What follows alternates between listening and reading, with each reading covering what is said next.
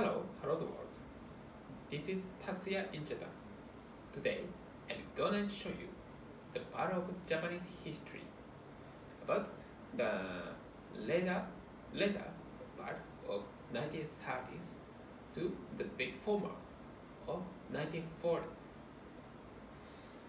After Japan has seized Manchuria in China, the anti-Japan sentiment has spread, widespread in China. The, the sentiment, the feelings was so, so strong that the leader of the communists, Mao Zedong, and the lead top of the nationalists, uh, Chiang Kai-shek, has created a united form, united front, front to resist Japan. And in 1937, the Japan has committed a massive attack in China. Japan has overwhelmed the Chinese garrison at Lugou, the Marco Polo Bridge, and the Japan military has committed atrocities in Nanjing.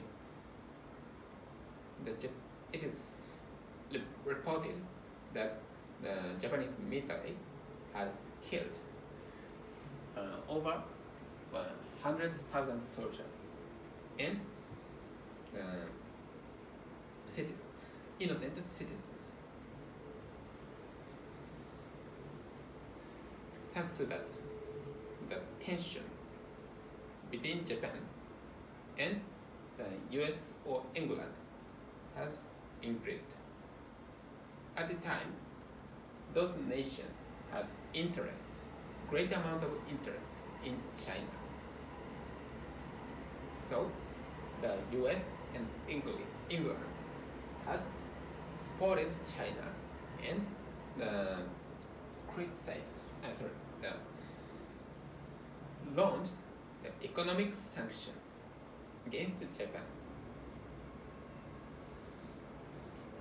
In 1940, the Prime Minister Konoe Fumimaro had signed official allies with German and Italy.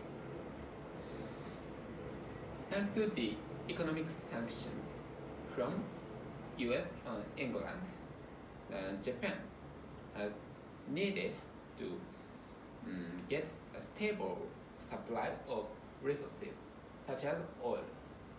So the, it invaded the East Asian nations.